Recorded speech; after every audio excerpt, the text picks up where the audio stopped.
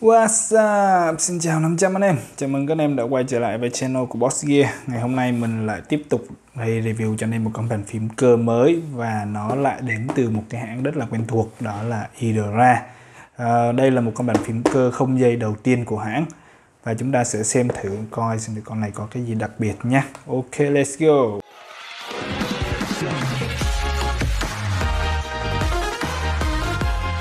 Đầu tiên về cách đóng hộp thì như thường lệ Idora cũng có thiết kế hộp khá là đơn giản. Nó sẽ chỉ gồm có màu đen và bên ngoài sẽ có mã cũng như là cái hình của cái con bàn phím. Ok vậy trong hộp thì chúng ta sẽ có những thứ gì? Đầu tiên đó là một chiếc bàn phím này Rồi sau đó sẽ đến một cái cover tức là một cái miếng ờ, một cái tấm nhựa để mà chắn bụi. À, Tiếp theo là một, một sợi dây cáp một cái keybuller một cái nhổ keycap và một cái túi. Đó. Đó là tất cả những cái gì mà ở trong một chiếc hộp bàn phím EK361W à, ngoài ra thì nó còn một cái rất là quan trọng nữa đó là cái sách hướng dẫn. Cái này thường là những cái bàn phím khác thì chúng ta không cần quan tâm đến nhưng những cái bàn phím mà sử dụng Bluetooth như này thì nó sẽ có nhiều chức năng mà phải sử dụng phím FN thì mới có thể kích hoạt được. Cho nên tốt nhất là các bạn nên giữ lại cái tờ này để có gì để mình có thể ấn và mình thao tác cho nó nhanh à, đầu tiên chúng ta sẽ nói về cái tấm chắn bụi này. Đó cái tấm này có thể đây là một cái điểm cộng khá là ngon lành cho phím Idora. Rất ít cái nhà sản xuất nào mà có hỗ trợ thêm cái tấm này trong các bàn phím. À, tuy nhiên thì cái tấm này nó vẫn có hơi củ chuối một chút. Đây mình thử cho các bạn xem nhé. Như các cái bàn phím à, bình thường nếu mình để lên thì nó rất là dễ dàng. Tuy nhiên thì có cái này thì bỏ lên nó khá là chật. Nó không có kiểu dạng rộng rãi hơn một xíu để chúng ta có thể bỏ vào một cách dễ dàng. Nó khá là chật khi mình để thả bình thường như thế này thì nó sẽ không thể nào mà vào ngay ngắn được. À, có thể là do cái phần này của nó hơi cao mà mình chỉ cần chắn bụi ở phía mặt trên thôi. Cho nên là các bạn có thể cắt bớt đi để mà mình để vào cho nó dễ dàng một chút. Đó, cái này nó cũng khá là hay đấy. Tiếp theo về cái phần dây cáp. Dây cáp của thằng này thì được hỗ trợ uh, dây cáp bọc dù luôn dày dặn và chắc chắn. Có cả cục chống nhiễu đồng thời là có cả cái miếng này là cái miếng để mình chống rối đấy dán lại. Ờ, sử dụng cái cáp tai C nha các bạn. Nó tai C. Tai C thì các bạn có thể dễ dàng mình có thể thay thế bằng bất kỳ các loại dây cáp tai C nào trên thị trường.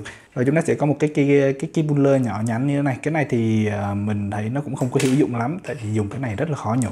Tiếp theo một cái mà mình thấy nó cực kỳ là hữu dụng và đồng thời nó rất là xịn sò đó là một cái túi đựng bàn phím nó khá là dài như thế này. Nó vừa đủ để cho chúng ta có thể đựng được cái bàn phím này. Đây mình thử cho các bạn coi đó, như các bạn đã thấy là khi mình đút vào thì cái túi nó vừa lọt vào phía trong luôn. Và cái chỗ này nó sẽ dư ra một chút để chúng ta có thể thắt kéo lại như thế này tức là có thể thắt co rút lại. Đấy. Và chúng ta có thể mang đi một cách rất là dễ dàng. Những cái con bàn phím mà thể loại 60% mà sử dụng Bluetooth thì cái công dụng lớn nhất của nó đó tính là cái tính linh động. Và cái này nó làm tăng thêm cái phần uh, hữu dụng của em này với cái túi này thì chúng ta có thể mang đi và không có bị sợ chảy xước cũng như là bẩn chiếc bàn phím của chúng ta. Về cái chất liệu của cái túi này thì mình thấy nó khá là mềm mại. Đấy.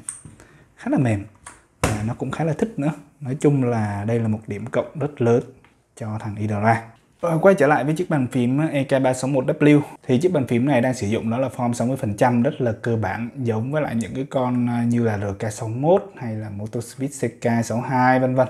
Đây là cái form này thì chúng ta vẫn có thể chơi keycap bình thường. À, và nó sẽ không có hàng ép cũng như là các hàng mũi tên như là thằng TKL và nó sẽ là cực kỳ nhỏ gọn luôn. Phông chữ của em này thì cũng là phông chữ quốc tế rất là giống những con bàn phím của EK về keycap của con này thì sử dụng cái cáp ABS double shot cũng như những cái con khác thôi. Switch thì vẫn là switch của thằng Utemu không có gì thay đổi. Ngoài ra thì thiết kế của con này sẽ là thiết kế phím chìm và chúng ta sẽ không thấy có lộ chân switch. Ở phía mặt sau của con bàn phím thì chúng ta vẫn sẽ thấy có bốn cái chân cao su, không hề có lẫy nâng hạ độ cao của bàn phím đồng thời là ở giữa là sẽ có cái tên à, cũng như là logo thằng Idra. Ở phía giữa này thì chúng ta sẽ thấy có một cái công tắc cái công tắc này sẽ giúp chúng ta bật hoặc là tắt cái bàn phím này luôn. Ở phía bên hông thì chúng ta sẽ thấy có một cái logo Idra ở phía bên đây. Nó gần như là y chang con RK61 ngoài những cái đặc điểm rất là chung chung của dòng 61 thì con này có cái gì đặc biệt? Con này có một cái ngon hơn hầu hết tất cả các hãng khác đó chính là về cái phần thời lượng pin. Thời lượng pin của con này thì hãng công bố lên tới 2000 mAh và mình đã thử mở con này ra thì thực sự là pin của nó 2000 mAh lận đấy các bạn ạ. Và với cái thời lượng pin này mình thấy nó sẽ cho một cái trải nghiệm sử dụng rất là lâu. Ví dụ như nếu mà các bạn tắt led thì có thể là trải nghiệm của nó sẽ lên tới cả cả tuần hoặc là cả tháng. Còn nếu mà các bạn bật led thì có khả năng sẽ là 2 đến 3 ngày nếu mà led RGB full. Ngoài ra thì con này đang sử dụng đó là chuẩn kết nối Type-C ở phía đây. Thì nếu mà các bạn không muốn sử dụng kết nối Bluetooth thì các bạn cũng có thể sử dụng kết nối dây Type-C như thế này. Ờ, bây giờ chúng ta sẽ khởi động chiếc bàn phím lên nhé. Đây. Như các bạn đã thấy thì con bàn phím này có đèn led rất là sáng. Nó sáng đến nỗi mà khi mà mình bật đèn sáng trưng ở trong phòng này thì chúng ta vẫn thấy rõ các cái đường led của em này. Và con này hiện tại thì nhà sản xuất Idra này nó chưa có đưa ra cái bản phần mềm mà hiện tại chỉ có sử dụng bằng tay thôi. Thì nếu như mà các bạn muốn chỉnh led của con này thì các bạn à, ấn nút Fn cộng với lại cái nút gạch chéo này, này hoặc là nút gạch thẳng đấy thì nó sẽ đổi các cái chế độ led thôi. Đấy. Tí nữa mình sẽ sâu cho các bạn coi. Về cách sử dụng à, Bluetooth của con này thì các bạn lưu ý đây là một con bàn phím sử dụng hai chế độ. Một là chế độ bằng dây và hai là chế độ Bluetooth. Thì để phát hiện xem thử đây là con này đang sử dụng Bluetooth hay là bằng dây ấy, thì các bạn à, để một lúc nếu như mà đèn led nó vẫn chạy như thế này thì đang sử dụng bluetooth.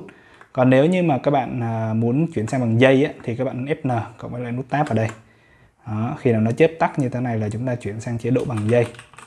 Và nó sẽ tự động tắt led nếu như mà chúng ta không sử dụng. Đấy. Còn nếu như các bạn chuyển đổi sang lại chế độ Bluetooth thì là ấn Fn cộng với lại nút tab ừ, nó sẽ chớp tắt như thế này.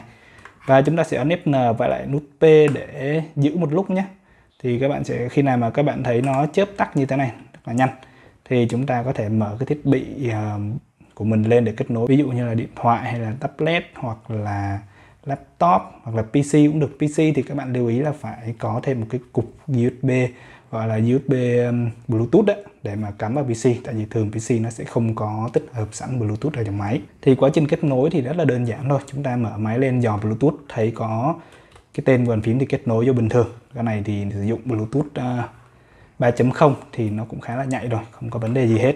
Nói chung nó rồi rất là giống con RK61 Ok mình sẽ show cho các bạn xem các cái chế độ delete của em này nhé.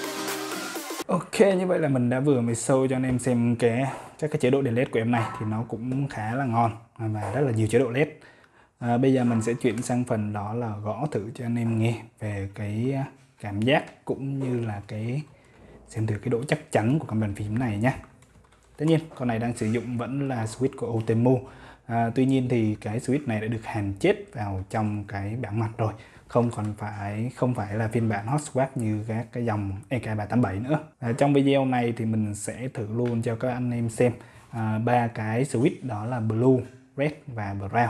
Do con này nó đang hỗ trợ đến ba dòng switch lận. Khá là ngon đấy.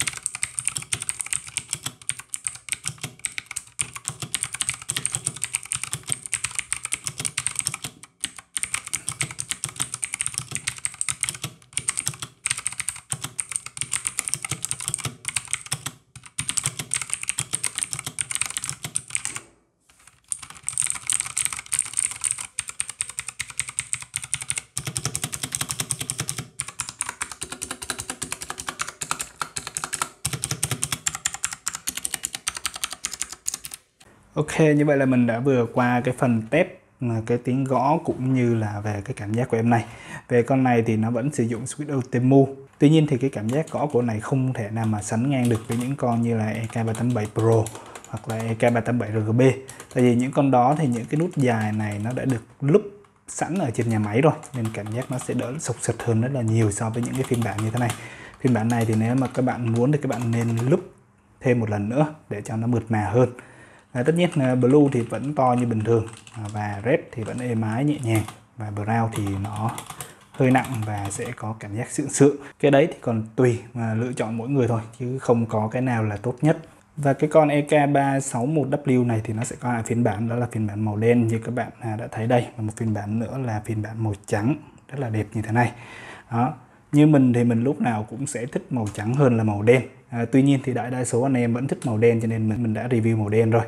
Còn màu trắng thì như các bạn thấy đấy nó sẽ trắng hoàn toàn. À, và những con màu trắng như thế này thì khá là dễ chơi keycap và cái độ sáng của led nó cũng tốt hơn do nó hắt sáng từ dưới lên cũng như là cái keycap nó bắt sáng tốt hơn. À, Tuy nhiên thì cái con màu trắng này thì nó lại đắt hơn con màu đen này khoảng 50.000 à, với tầm giá lăn quanh 800 ngàn thì các bạn thấy ra về chiếc bàn phím này. Với cái dung lượng pin cực kỳ khủng 2000 mAh. Và chúng ta sẽ có một cái layout nhỏ gọn kèm theo đó là một cái hỗ trợ Bluetooth cũng như là sẽ có phần mềm. À, chúng ta thích thì chúng ta có thể cắm dây hoặc là sử dụng không dây rất là thoải mái. Về cái độ phản hồi thì dùng Bluetooth thì các bạn đã biết rồi nó cũng khá là tốt. Tuy nhiên thì đối với những game thủ GoPro thì sử dụng Bluetooth nó sẽ không tốt bằng sử dụng bằng dây tức là cái độ trễ của nó sẽ vẫn có chứ không phải là không. Ok như vậy là mình đã đi review xong em bàn phím Idora EK361W với tầm giá khoảng 800 ngàn thì chúng ta sẽ được những gì đầu tiên? Phải nói đến là cái form nhỏ gọn 60% với cái form này thì nó sẽ rất là phù hợp với những bạn nào thích sự uh, tiện lợi một cái gọn gàng không có dây nhựa lằng nhằng cũng như là mang đi được. Nói chung là khá là tiện để mà mang đi. Um, ngoài ra thì ờ, chúng ta còn có thêm một cái hệ thống Bluetooth 3.0 vừa đủ để mà có thể gaming, những game không cần Pro, cũng như là một cái ờ, cũng như là sử dụng thao tác văn phòng rất là đơn giản. Ngoài ra thì chúng ta sẽ có một cái hệ thống đèn led RGB cực kỳ đẹp và một con pin cực trâu lên tới 2000 mAh và những cái con Bluetooth mà được trang bị cái thời lượng pin như thế này thì mình thấy cực kỳ là hiếm. Đây là một cái điểm cộng rất lớn. Ngoài ra thì ờ, bên nhà Idora còn rất là hào phóng khi mà được tặng kèm cái túi để chúng ta có thể thuận tiện mang đi cũng như là key puller hoặc là cái tấm chắn bụi. Cái đó cũng là một cái điểm cộng rất đáng kể. À, tuy nhiên thì chúng ta vẫn có những cái điểm trừ. À, ví dụ như là những cái thanh stab thì nó sẽ vẫn lọc sọc. Chúng ta bấm thì nó vẫn nghe cái tiếng lò xo khá là nhiều. Đó đặc biệt là những cái nút space nút dài thì nghe khá là chán. À, nếu như mà các bạn thích vọc vặt thì tốt nhất là các bạn nên lúc nó lại đó và chúng ta có thể thay một cái bộ keycap ngon hơn để mà có cái trải nghiệm gõ sướng hơn. Ngoài ra thì cũng không còn cái gì đáng chê trách từ chiếc bàn phím này nữa. Với tầm giá 800 ngàn thì như vậy là quá ok rồi. À, Theo các bạn thì các bạn nghĩ sao về chiếc bàn phím này? Thì hãy nhớ để lại ý kiến trong phần bình luận nhé. Và Cũng như à, mọi cái sản phẩm khác của thằng Idora thì con này vẫn được bảo hành chính hãng 2 năm trên toàn quốc nếu như mà các bạn muốn mua sản phẩm thì mình sẽ để link ở phía dưới phần mô tả nhé. Cảm ơn các bạn đã theo dõi video. Nhớ like, share và ủng hộ kênh Bot Gear đấy. Bye bye!